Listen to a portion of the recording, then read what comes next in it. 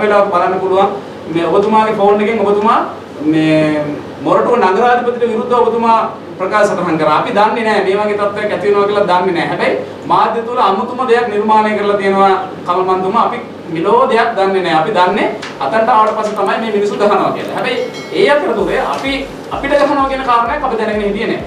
අපි එතකොට කිරිබත් ගොඩ හරියට එනකොට එක පාරටම හෙල්මට් දාගත්ත පුද්ගලෙක් පාර හරහා පැනලා මෙන්න මුන්ට ගහපල්ලා කියන එක විතරයි දැනුනේ අපේ හාමුදුරන් වහන්සේට තමයි ඉස්සල්ලාම ගහන්න පටන් ගත්තේ. ඉස්සල්ලාම ගහන්න පටන් ගත්තේ මට ඒ වෙලාවේ දරා ගන්න බැරුව මේ ප්‍රියන්ත මන්ත්‍රතුමා මට එහා පැත්තේ හිටියේ. මම ඔහොම කරලා හාමුදුරුවන්ගේ සීට් එකත් එක්ක මම අල්ල ගන්නකොට පිටිපස්සෙන් සලරන් ගාලා මට ගැහුවා මොනවා එකකින් ගැහුවද කියලා දන්නේ නැහැ. මම ඊට පස්සේ දැක්කේ ප්‍රියන්ත මන්ත්‍රතුමා උස්සගෙන ගහන්න ගන්නවා තමයි මම දැක්කේ. ඒ අවස්ථාවේ මට තුන්වෙනිම මම ඇදලා අරගෙන මට ගහන්න ගත්තා. මම මගේ අනිත් සහෝදර මන්තුමල්ලට මොකද උනේ කියලාවත් මම දන්නේ නැහැ. මට ගහලා ගහලා මාව බිම ඇදලා දාලා මට අන්තිමේට මේ මට ඇස් දෙක අරගන්න බෑ. මට කතා කරගන්න බෑ. අතපය මේ උසව ගන්න බෑ. මාව කාපට් පාරේ වැටලා තියෙනකොට වැටලා මට සිහියක් නැහැ කියන්නේ මට කියන දේ ඇහෙනවා. ඒ වුණාට මට කිසිම අවබෝධයක් නැහැ ඊට පස්සේ ටිකක් වෙලා යනකොට මගේ ඇඟට මොනවද මේ වතුරක් වක් කරා. පස්සේ බලනකොට තමයි මට කටට දැනෙනකොට දැනුනේ මේ අරක්කුවක් කරලා තියෙන්නේ. වක් කරලා විනාඩි දෙක තුනක් යනකොට ආපහු සැරයක් මාව බිම දිගේ ඇදගෙන ගියා. මගේ කලිසම් මේ ඇඳුම් ඔක්කොම ඉරිලා පුදුම විදිහේ අපහසුතාවයකටපත් වුණා. හැබැයි ඒ වෙලාවේ මාව අරගෙන ගිහිල්ලා වෙනත් ආතුරු මාර්ගයකට දාලා ඒ ගමේ මිනිස්සු තමයි බේරගත්තේ. මගේ මේ ගරු മന്ത്രിතුමන්ලා සියලු දෙනාම බේරගත්තේ මගේ ගමේ මිනිස්සු. ඒ ගමේ මිනිස්සු. මේ ඒ ඊරිය වැටිය කියන ප්‍රදේශයේ තරුණ කොටස් තමයි එකතු වෙලා බේරගත්තේ. ඒගොල්ලෝ දන්නෙත් නෑ මේක මම මේ වෙලාවේ පැහැදිලිවම කියනවා ජනතා විමුක්ති පෙරමුණ අද මේ සහෝදර മന്ത്രിවරයා ඇවිල්ලා නෑ. මම එතුමත් එක්ක පුද්ගලිකව අමනාපයක් නෑ. හැබැයි මේ ජනතා විමුක්ති පෙරමුණ කියන දීන පක්ෂය තමයි මේ කටයුත්ත කරේ. ඒ නිසා අපි ප්‍රජාතන්ත්‍රවාදී විදිහට අපි කොහොම මේ මහජන නියෝජිත විදිහට ඇවිල්ලා ඉන්නේ මේ මේ ද්වේෂසහගත වැඩ කරන්නවත් මිලේච්ඡ විදිහට වැඩ කරන්නේ නෙවෙයි.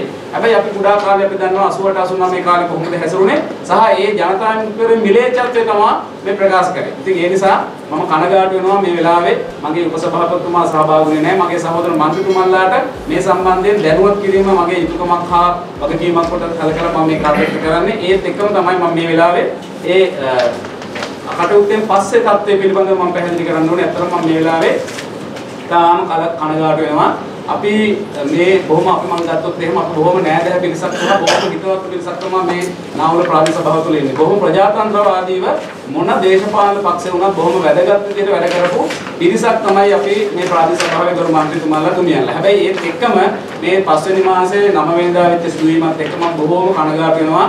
මම මේ වෙලාවේ මේ නාවුල නගරයේ ඇතැම් පිරිස්ගේ ක්‍රියාකලාපය පිළිබඳව මේ බොහොම අයියා මල්ලි කියලා බොහොම සහෝදරත්වයෙන් හිටපු පිරිස සමහර වෙලාවට මේගොල්ලෝගේ තිබුණ මම මේ වෙලාවේ පැහැදිලිවම කියනවා පටු අරමුණු වලින් එහෙම නැත්නම් මේ රටේ තිබුණ ආර්ථික ව්‍යසනයට විරුද්ධව නෙමෙයි මේගොල්ලෝ කටයුතු කරන්නේ.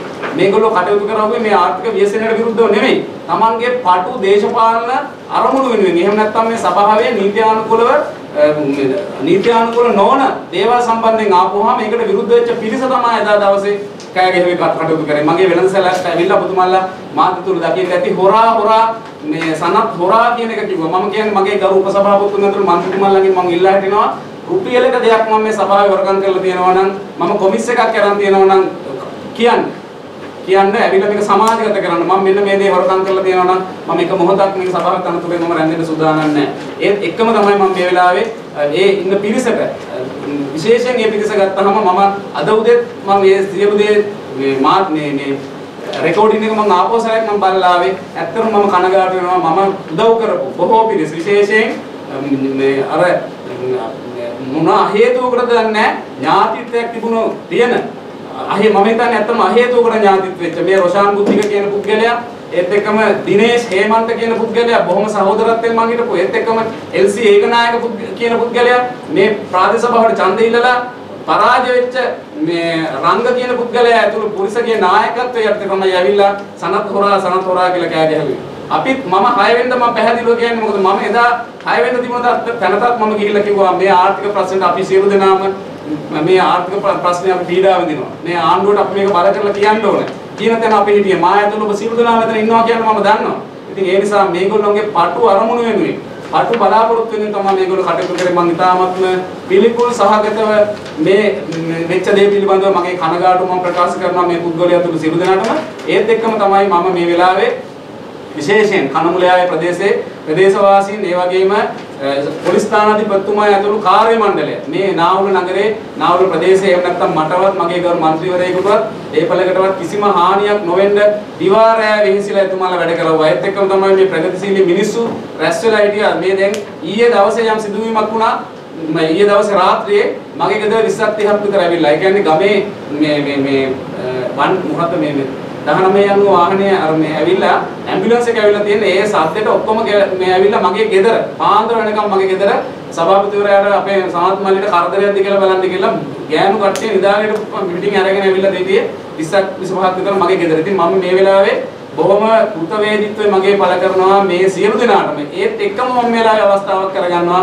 අපි දේශපාලන වශයෙන් මොන ભેදවල හිටියත් මේ එක්සත් ජාතික පක්ෂයේ ප්‍රගතිශීලී පිරිස මේ නම වෙනද ඇති වෙච්ච සිද්ධියේදී මගේ බිරිඳටත් මටත් දුරකථනයෙන් කතා කරලා මොන තරම්නම් මට මේ කියනකොට මගේ මේ රෝමකුප්ප මේ මේවා වෙනවා. හේතුව තමයි මේ පිරිස මට කතා කරලා මල්ලි ඔයාලට මොකද වෙලා තියෙන්නේ? මගේ බිරිඳට කතා කරලා දරුවොත් එක්ක ඒගොල්ලෝ පුරුම පුදුම විදිහට මේ එක්සත් ජාතික පාක්ෂිකයෝ මේ නාවල ප්‍රදේශයේ එක්සත් ජාතික පාක්ෂිකයෝ මගේ බිරිඳටත් මගේ දරුවන්ටත් රැකවරණය දෙන්න එතුමන්ලා පුදුම විදිහට කටයුතු කරා.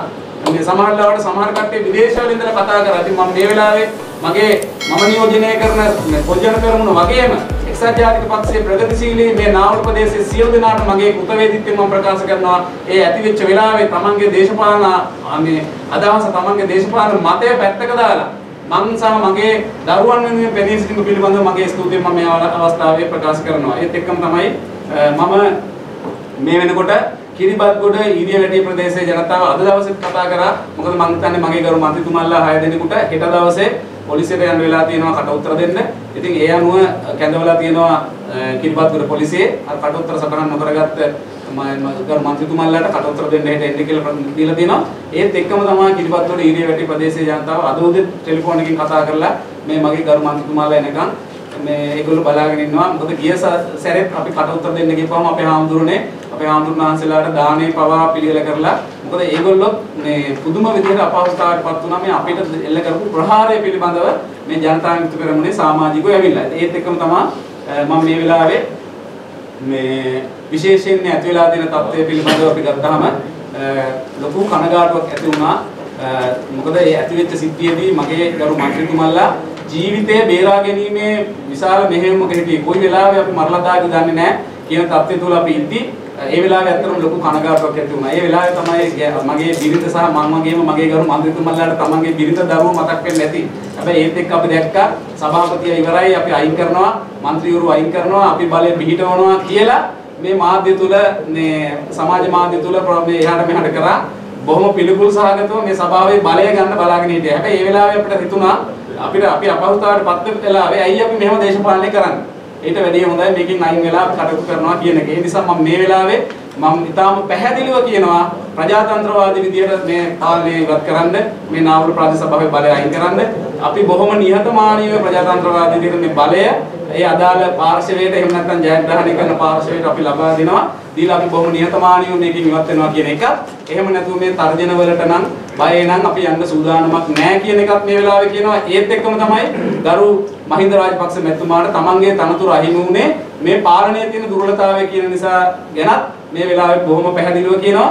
එතකොට ගරු ජනාධිපතිතුමාට මේ කටයුතු කරගෙන යනකොට තමන්ට අග්‍රාමාත්‍යවරයෙක් අවශ්‍ය වෙනවා, කැබිනට් එකක් අවශ්‍ය වෙනවා මේ කටයුතු වලදී ශ්‍රී ලංකා පොජන පෙරමුණ පසුබෑලා හිටියත් මේ වෙලාවේ රනිල් වික්‍රමසිංහ මැතිතුමා මේ වෙලාවේ රටේ වෙලා තියෙන මේ අයහපත් තත්ත්වය පිළිබඳව අවධානය යොමු කරලා එතුමා අග්‍රාමාත්‍යවරයා හැටියට මේ තනතුර බාර අරගෙන දේශපාලන පැත්තකින් තියලා මේ රටේ ආර්ථිකය ගොඩනංවන්නට යම්කිසි මෙහෙයක් කරනවා නම් ඒ සඳහා කිසිම කොන්දේසි විරහිතව නාවුල ප්‍රාදේශ සභාවේ සභාපතිවරයා හැටියට මම ඒ සඳහා සහයෝගය ලබා දෙනවා කියන එකත් මේ අවස්ථාවේදී ප්‍රකාශ කරමින් ඕනෑම වෙලාවක හෙට දවසේ වුණත් මේ සභාව විසුරුවා හරිනවා නම් අපි බොහොම කැමතියි. විසුරුවා හැරලා ඒ කරන ඕනෑම කටයුත්තකදී සහයෝගය දෙන්න අපි සූදානම් කියන එක හේතුව තමයි මේ මම හිතන්නේ නෑ අපි മന്ത്രിවරු මේ දීමනාව පිළිබඳව බලාගෙන මේක රාජකාරී කරනවා කියලා කවුරුවත්.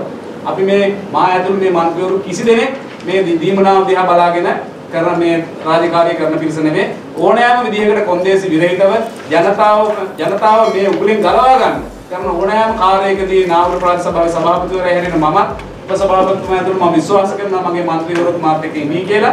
ඒ නිසා ඒ සඳහා අපේ සහයෝගය ලබා දෙනවා කියන ප්‍රකාශයක් කරමින් මම හිතන්නේ මගේ යුතුයකමක් හා වගකීමක් කොට සැලකලා තමයි මම මේ කාර්යනේ වෙලාවේ න්‍යාය පත්‍රානුකූලව මගේ ලැබිලා තියෙන කාලය තුල මා ප්‍රකාශ කරේ. ඉතින් ඒ නිසා ප්‍රාර්ථනා කරනවා මේ ඉදිරි කාලය තුල මේ ආර්ථික වශයෙන් අපි වැඩි වෙලා රැකලා තියෙන උගුලෙන් ගොඩ එන්නට මේ කියන මේ මේ අරගල සහ මේ දේවල් පිළිබඳව තවදුරටත් අපි අවධානය යොමු කළ වැඩක් නැහැ.